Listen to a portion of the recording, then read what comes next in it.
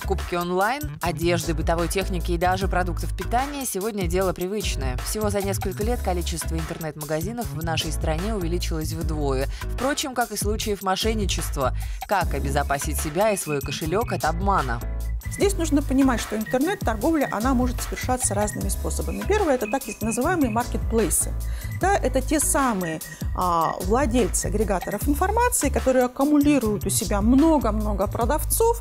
Ты можешь подобрать продавца конкретного и с помощью маркетплейса заключить договор. Второй способ торговли – это официальные сайты каких-либо продавцов или изготовителей.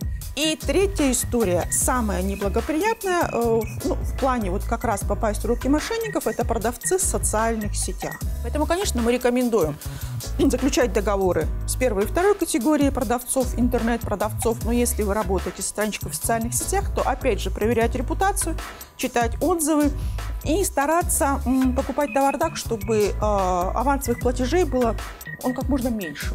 Да? здесь вероятность попасть в руки мошенников, либо быть обманутым крайне мала.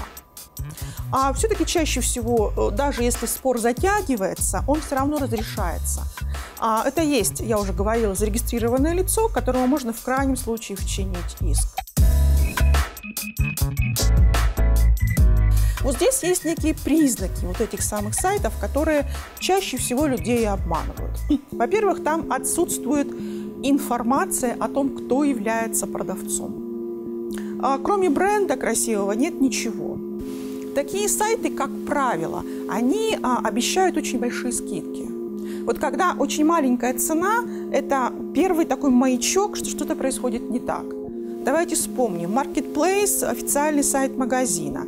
Формируете корзину, корзина вам подтверждается, заказ подтверждается, вам выставляется счет. И у вас на руках остается и корзина, и сформированный заказ, да, и вот тот самый вот документ, который можно распечатать, из которого следует, что вы заказали. А когда мы говорим о вот этих вот недобросовестных продавцах, чаще всего вам предлагают позвоните мне, в течение, если пяти минут позвоните, мы вам дадим скидку еще 20% и примем ваш заказ. Вы звоните, ваш заказ принимают, оформляют, и у вас на руках не остается ничего. Если вы подозреваете, что вы попали в руки мошенников и обманщиков, то в первую очередь, конечно, нужно обращаться в полицию.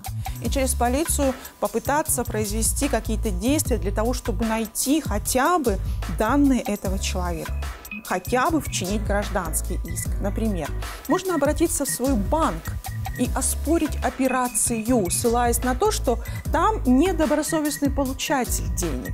Банк может обратиться к платежной системе, и с помощью платежной системы урегулировать вопрос и вернуть вам деньги. Если э, у вас нет никаких данных, мы все равно рекомендуем обращаться к нам, Екатеринбургский муниципальный центр защиты потребителей. Во-первых, мы, возможно, уже имеем такие обращения, у нас есть более э, да, полная информация, мы поможем правильно сформулировать э, формулировки, скажем так, заявления в полицию, ну и возможно, что поможем вернуть деньги с помощью ну, тех ресурсов, которые есть у нас, с помощью норм закона, защиты прав потребителей э, и так далее.